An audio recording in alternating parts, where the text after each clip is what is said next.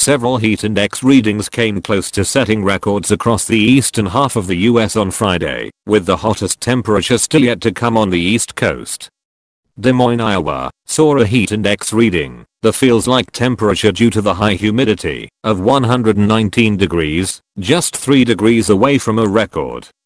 The heat index was 115 degrees in Minneapolis with a dew point of 80, the highest recorded in 8 years.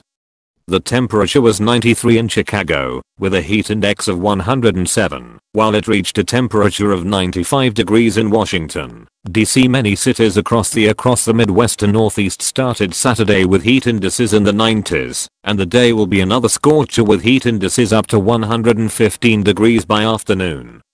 Excess of heat warnings have been issued from Kansas to Ohio and North Carolina to New Hampshire.